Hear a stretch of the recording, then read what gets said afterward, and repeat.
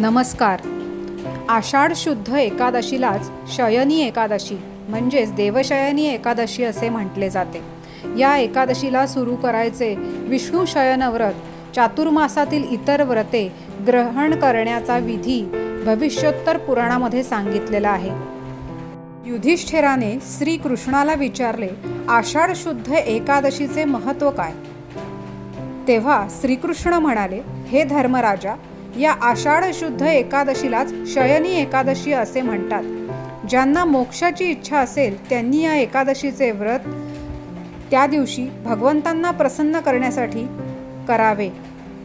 आषाढ शुद्ध एकादशीला उपास करावा आणि चातुर्मासातील जी व्रते करायची असतील त्याचा संकल्प करून त्या दिवशी आरंभ करावा.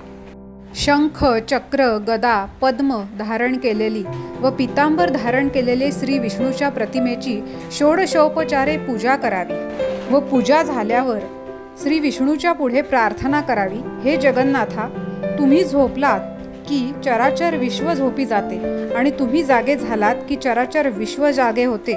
चातुर्मासातील व्रताचा संकल्प देखील आजपासून करावा. आजपासून आरंभ करून कार्तिकातील विष्णूचे प्रबोधन होईपर्यंत पावसाळ्याचे चार महिने मी शुद्ध नियम व व्रते ग्रहण करीत आहे.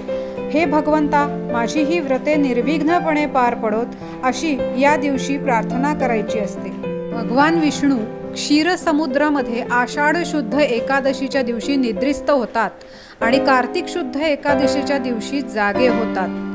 म्हणूनच या दोन दिवशी भगवंताच्या प्रीतीसाठी जो मनुष्य अनन्य भावाने उपवास करतो त्याला गरुडवाहन विष्णू मोक्ष मिळवून देतात. श्री कृष्णार्पणमस्तू धन्यवाद.